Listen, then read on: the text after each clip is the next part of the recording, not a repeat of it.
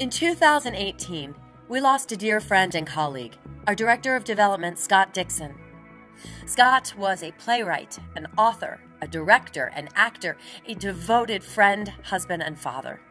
He was a dedicated and passionate coworker who worked tirelessly advocating for new plays and ultimately for Wheelhouse. To carry forward his spirit as an artist and theater practitioner, we're creating a Give to the Scott Day campaign.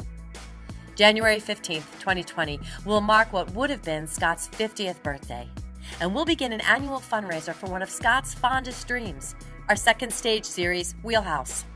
All funds received will go towards supporting these productions. Thank you in advance for your continued support and for helping us celebrate Scott's passion for the arts.